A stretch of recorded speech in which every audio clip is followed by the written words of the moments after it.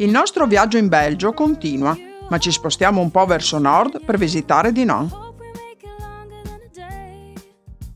Dinan è una piccola cittadina che si è sviluppata tra il fiume Mosa e uno sperone di roccia sopra il quale si trova la cittadella, costruita nel 1500 all'interno di una fortificazione dell'undicesimo secolo.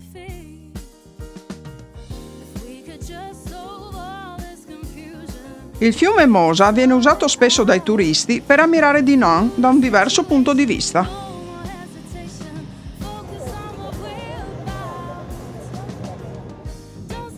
e camminando lungo la Mosa o navigando su un vaporetto turistico si nota da subito l'imponente cattedrale di Notre Dame, costruita proprio a ridosso della collina rocciosa dopo che la vecchia chiesa è stata distrutta da una frana.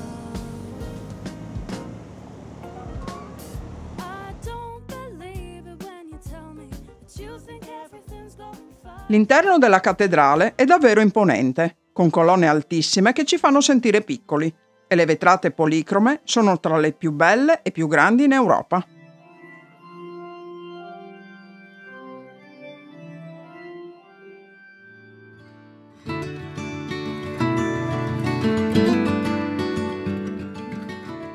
L'imponente fortezza sulla sommità dello sperone roccioso si raggiunge tramite una funicolare, oppure salendo una gradinata di 408 gradini, è stata realizzata nel luogo dove l'anno 1000 era stato costruito il primo castello fortificato.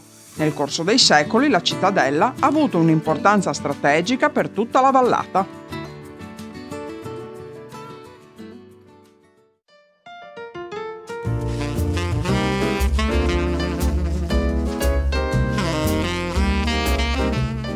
Un illustre cittadino di Dinan è Adolf Sachs, l'inventore dello strumento che porta il suo nome. E così è stata realizzata una bellissima mostra a cielo aperto che comprende 28 sassofoni di 3 metri distribuiti in tutta la città. All'ufficio turistico è possibile trovare una mappa che indica dove sono stati posizionati.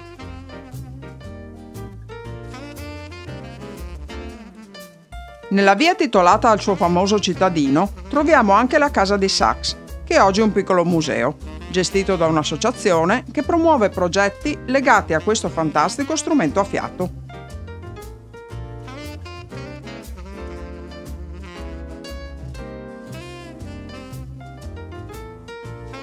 Anche davanti al municipio ne troviamo uno in cristallo davvero bellissimo.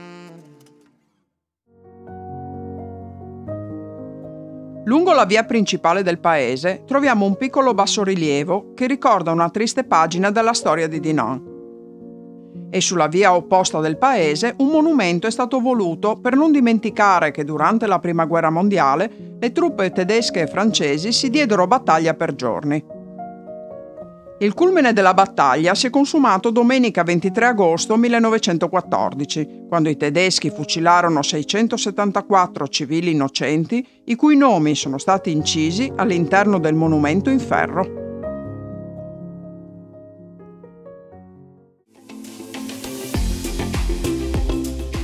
Alcune insegne ci ricordano che a Dinan c'è l'abbazia di Leffe, dove nel 1200 si è iniziata la produzione della birra Leffe, oggi spostata a Lovanio.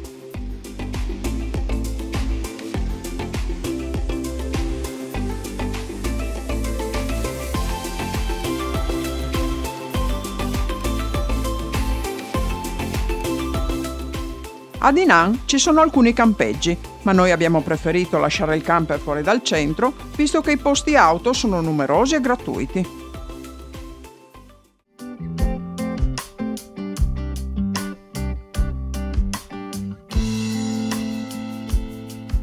Dopo una notte tranquilla nell'area di sosta, ripartiamo nella fitta nebbia del mattino diretti a Mons.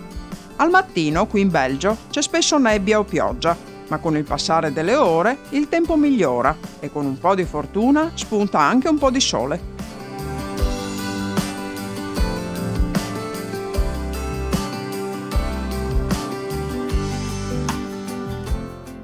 Arriviamo nella Grand Place di Mons e ammiriamo con piacere gli edifici che circondano la piazza.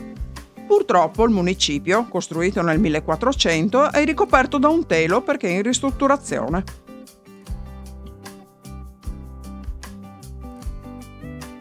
Attraversiamo la piccola galleria del municipio e arriviamo al giardino del sindaco, con la statua in bronzo di Ropier, che rappresenta un tipico monello di Mons dispettoso, che sembra voler schizzare tutti i passanti.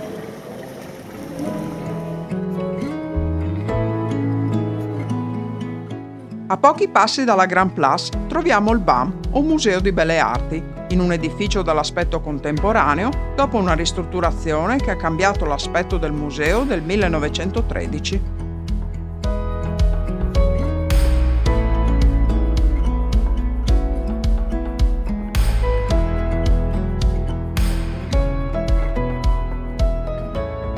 Dalla via pedonabile del centro si può ammirare il Beffroi, ossia la torre civica della città, alta 87 metri, patrimonio UNESCO.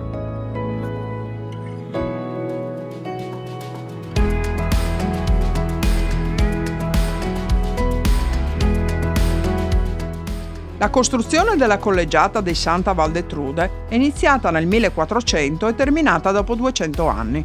È stata dedicata a Saint Vaudreuil, una nobile che si fece monaca nel 600 d.C.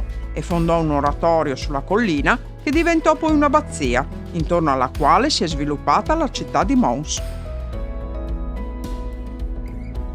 In alto, sopra l'altare, si vede una cassetta dorata che contiene le reliquie di Saint Vaudreuil e ogni anno dal 1349 questa cassetta viene portata in processione per tutta la città con il car d'or trainato da cavalli. Questa processione si tiene nei giorni della Ducasse de Mons, detta anche Doudou, una festa popolare di diversi giorni, anch'essa patrimonio dell'umanità. Il corpo di Saint Vaudreuil riposa in una tomba all'interno della collegiata che porta il suo nome.